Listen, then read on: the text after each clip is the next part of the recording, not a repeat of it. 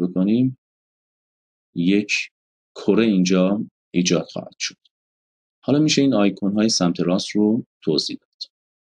آیکون اول از سمت راست show hide channel box اگر روی این قسمت ما کلیک بکنیم یه بخشی ظاهر میشه به اسم channel box و layer editor channel box چی هست؟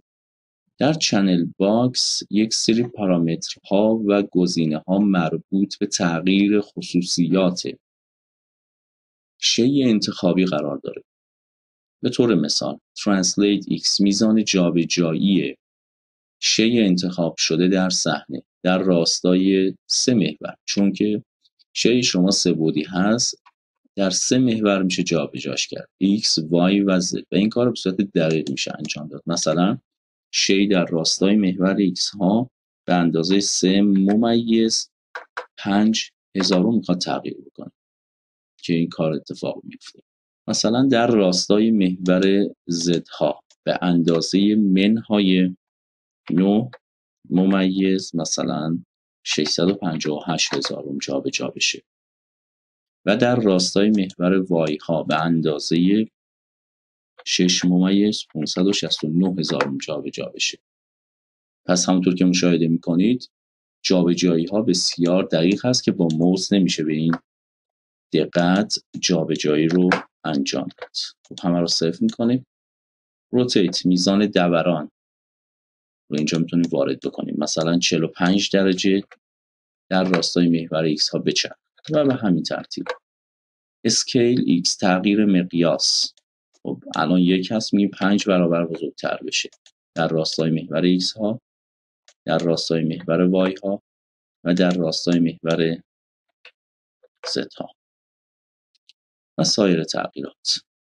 لیرها لیرها امکانی برای طبقه بندی در ترسیم های پیچیده و حالا پر کاراکتر هستن.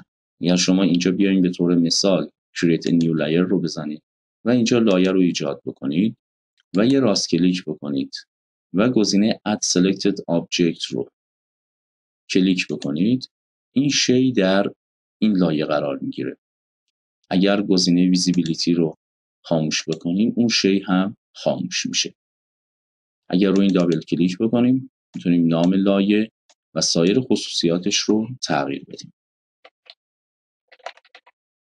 و save.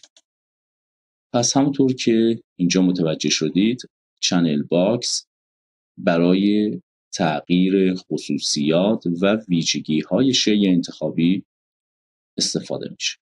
بخش بعدی این آیکون هست show hide tool setting. خب tool ها یا ابزارها رو یه توضیح بدیم.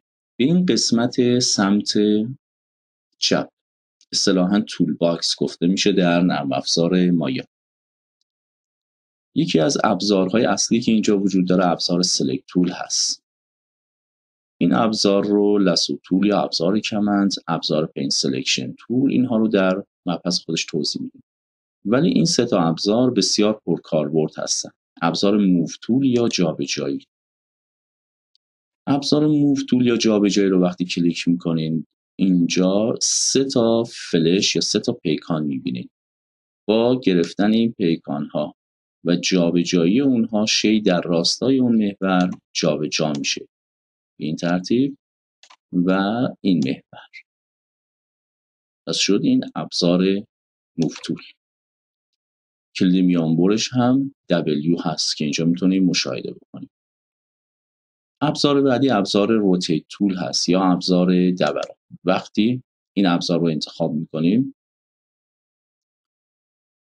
اینجا یک سری خطوط اضافه میشن که با گرفتن اونها و با جابجایی اونها با درک کردن اونها در راستای مورد نظر شی دوران پیدا می‌کنه.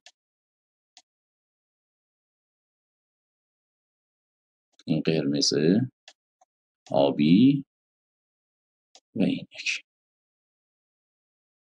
پس این شد ابزار روتیت تول با کلید میانبر ای. ابزار بعدی ابزار اسکیل تول با کلید میانبر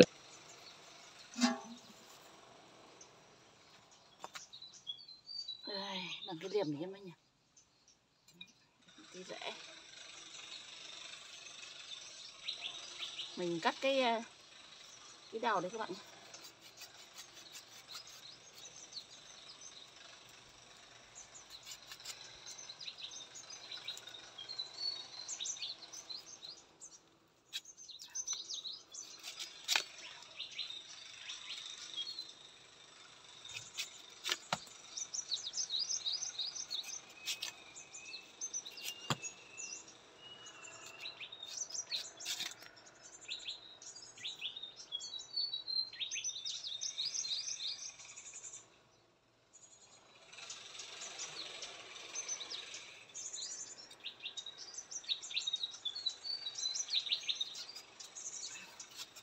un